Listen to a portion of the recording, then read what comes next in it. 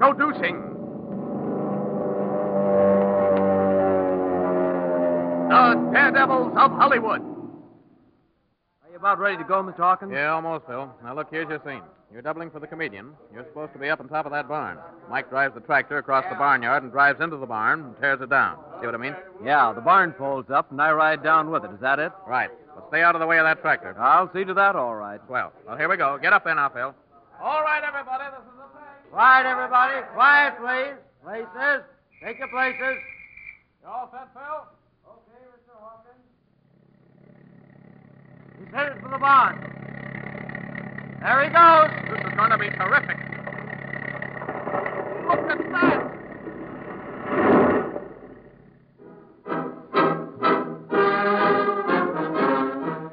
From Hollywood, the motion picture capital of the world, we bring you the thrilling true life experiences of those men behind the scenes. Those daring unsung heroes whose breathtaking adventures on the screen have thrilled millions, whose daily jobs bring them face to face with death. Those men who comprise the strangest fraternity on earth, the Suicide Squad, the movie stuntmen, the Daredevils of Hollywood. Ladies and gentlemen, in bringing you this copyrighted radio feature, again we are privileged to have as our guest one of the leading stuntmen of Hollywood, Bob Clark.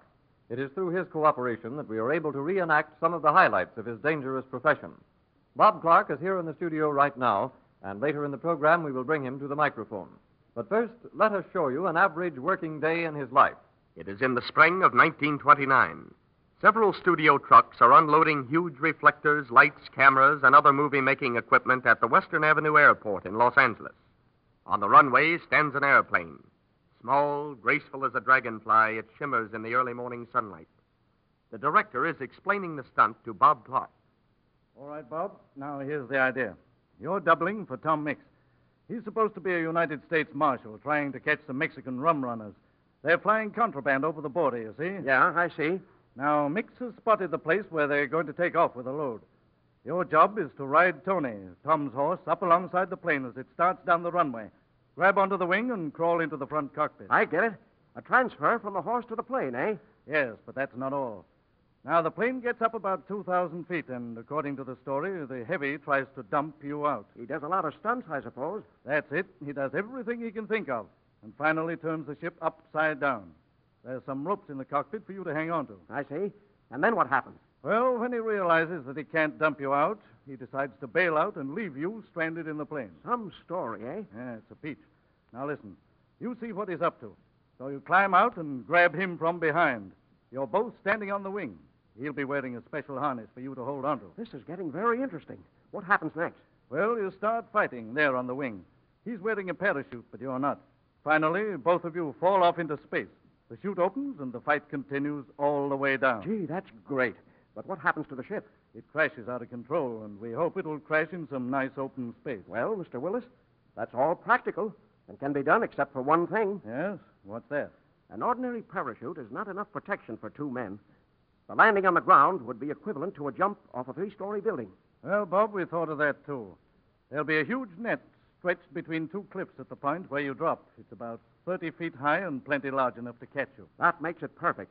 All we have to do is to hit the net exactly at the same instant. Falling from that height, if one man hit before the other, the rebound would be terrific. Uh, it's a big job, Bob, but if it can be done, I know you can do it. Thanks, and I'll certainly try.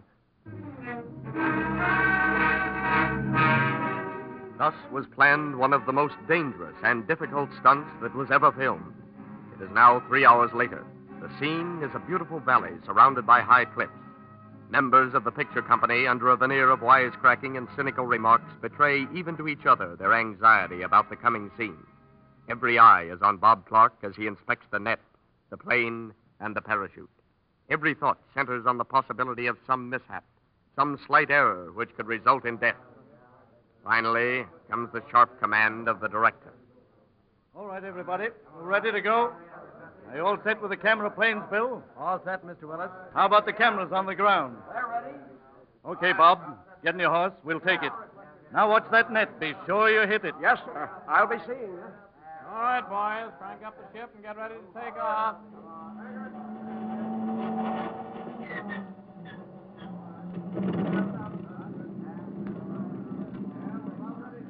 Wait until the plane starts moving, Bob, before you run up to make the change.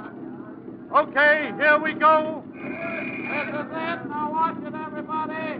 Okay, go ahead.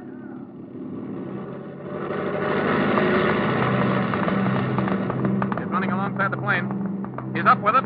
Oh, boy, he barely made it before the plane took off. That was a neat transfer. Yeah, beauty. Gaining altitude very rapidly.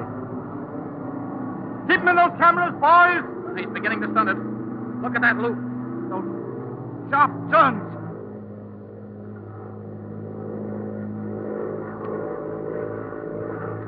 Say, he's gone into a dive. A power dive.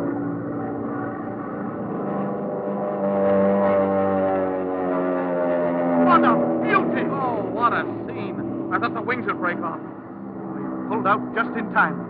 He's going back up. Look at that ship climb. Watch him. He turned upside down. He's climbing upside down. Now he's straightened up. He's climbing out on the wing. Oh, man, this is perfect so far. And there goes Bob out after. They're fighting on the wing. Look at the ship wobble. She's about to slip. They're right over the net. There they go. Look at them drop. That's marvelous. Watch that parachute open up. And look at those guys fight. Well, you can even see them hit each other. Look! The wind's blowing them to one side. Oh, they'll never make that net. They've got to make the net. They'll be killed. If they do make it, it's going to be close. Boy, they're, they're coming down fast. Look at the ship. It's falling out of control. It's going to crash. Look at that. Oh,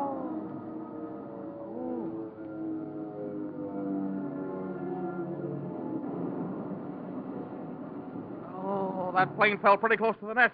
Ah, here they come. The chute's falling fast. Oh. look at that. Boy. Oh, what a relief. They barely hit the edge of that net.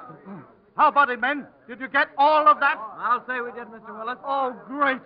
Say, that shot is worth 50 grand.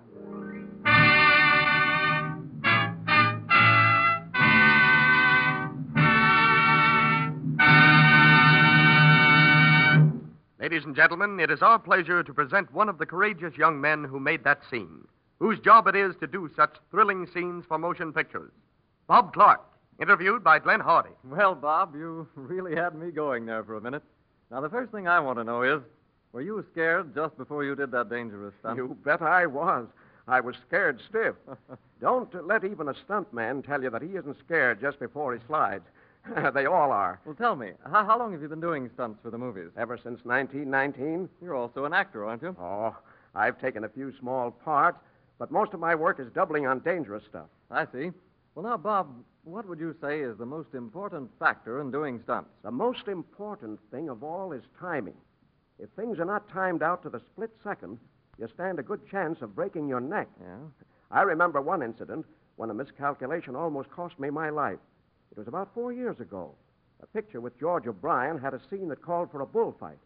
I was doubling for a comedian. We were all down now, just a moment, Bob. Our announcer gets a turn right here, but we'll hear all about that bullfight right after a message from our sponsor.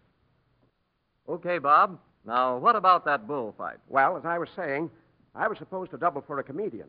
The idea was to let this bull charge me several times, getting as close as possible without hitting me. We took four shots of it, and everything went off okay. But the director wanted one more angle. George O'Brien said it was too dangerous, but Mr. Tinling, the director, insisted, so we were getting ready to do it again. And then Okay, Bob. Now, once more, and we'll be through. Say, say, that, that old boy really goes after this bright shirt, doesn't he? Yeah, I'll say he does. And it looks good, too. I just want an angle from the fence over there. They're setting up the camera now. Uh, do you want it done the same as before, Mr. Tinling? Yes, the same way. Let him come as close as possible to you. Uh, that last time, he just brushed my clothes. And this shirt bulges out so much, it'd be pretty easy for him to hook one of his horns in it. Well, if we can get it as well as the other times, uh, but from this angle, I'll be satisfied. Okay, Mr. Tinling. We're all set. Good. Well, here we go, Bob. All right, everybody, this is on the take. Quiet, please. Quiet, everybody. It's a take. Turn him over. Okay, Bob, step out there and challenge him. Yeah. He walks out in that pen like he owned the place. Yeah, that boy's knows something about cattle. He's from Montana, you know. Here, here comes the bull. Boy, he's plenty mad this time. Look at him lower his head. Yeah, he's getting ready to charge. Here he comes. Hey, he's charging like a streak of lightning. Look at him come. Yeah, Bob's ready for him. Yeah, he's all set. Watch your cameras. Here's the shot. Look, he's got Bob down. Right, stop the bull right in top of him. Hurry, man. Get that bull out of there. Pull the doctor, man. Quick. Bob badly hurt. Boy, oh boy, that was a close one. How badly were you hurt, Bob? Well, Uh, the bull fell on me, broke three ribs, and crushed my chest pretty badly. Well, that was a narrow escape. How long were you laid up? Oh, just a couple of weeks. And then you went back to work again? That's right. Bob, look. How many bones have you had broken since you've been doing stunts for the movie? Well, let's see. Uh, there were two arms, a shoulder, collarbone twice, ribs about ten times, and one leg. was that all? Well, yeah. well, that all. is about everything, but of course you were always taken care of by the studios. Oh, sure. I see. Well, Bob, our time's about up, but we've certainly enjoyed your visit. And on behalf of our listeners, I want to sincerely thank you for coming here. I know that everyone joins me in hoping that we may have you on this program again very soon. Goodbye, old boy, and the best of luck.